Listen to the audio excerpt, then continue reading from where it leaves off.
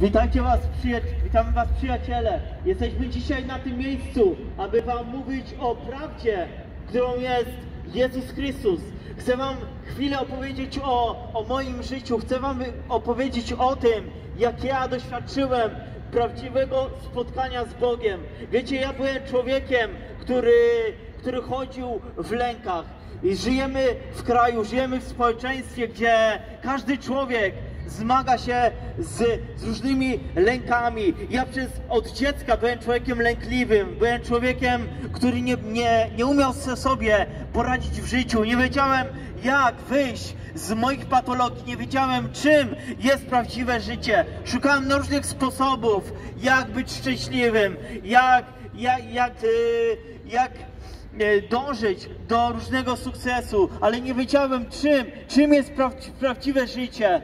Byłem człowiekiem, który nie umiał e, nawiązać kontaktów z innymi ludźmi. Ale wiecie, pewnego dnia jeden człowiek, który głosił mi Ewangelię, on mi powiedział, że jest Jezus Chrystus, jest ta osoba, która umarła za mnie na krzyżu Golgoty. Usłyszałem tą Ewangelię, tą dobrą nowinę o tym, że Chrystus jest prawdziwym Bogiem, że ja nie muszę żyć więcej w swoich lękach i ty też nie musisz żyć w swoich lękach. Bez względu na to, e, kim jesteś, bez względu na to, z jakiego narodu jesteś, bez względu na to, co robiłeś w życiu, co przeszłeś w życiu, pamiętaj o tym, że Jezusa krew została przelana za Twoje grzechy i dzisiaj możesz być wolnym człowiekiem.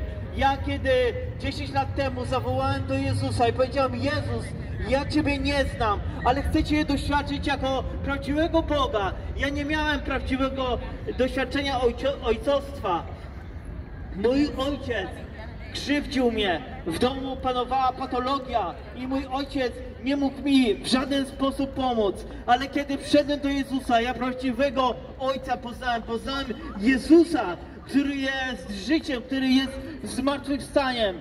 Ja jednocześnie byłem człowiekiem religijnym, byłem człowiekiem, który spełniał religijne obowiązki. Myślałem o tym, że ja jestem sprawiedliwy człowiek, że ja mogę pójść do nieba poprzez to, że jestem dobrym człowiekiem, ale Duch Święty przekonał mnie o tym, że ja jestem martwym człowiekiem i każdy człowiek, każdy człowiek potrzebuje, potrzebuje dowiedzieć się o tym, że każdy człowiek jest pozbawiony Boga. Kiedy się rodzisz tutaj na ziemi, jesteś odłączony od Boga.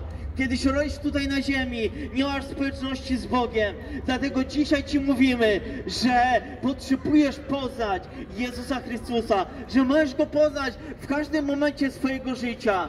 Nieważne, co zrobiłeś w życiu, nieważne, jakim jesteś człowiekiem, Jezus Chrystus jest dla Ciebie dostępny. Skorzystaj z tego, o czym głosimy. Jeżeli potrzebujesz uzdrowienia, jeżeli potrzebujesz uwolnienia od demonów, jesteśmy tutaj dla Ciebie, jesteśmy, żeby Ci, ci pomóc, jesteśmy tutaj, żebyś mógł doświadczyć prawdziwego Chrystusa. W imię Chrystusa poselstwo sprawujemy. Jesteśmy ludźmi, którzy osobiście doświadczyli Boga i Ty też możesz Go doświadczyć.